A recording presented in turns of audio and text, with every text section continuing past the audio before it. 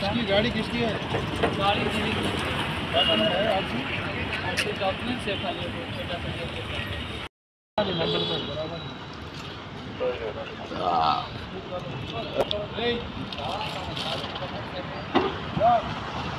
आप चलो जा। टाइम हो गया चलो। ये देखो की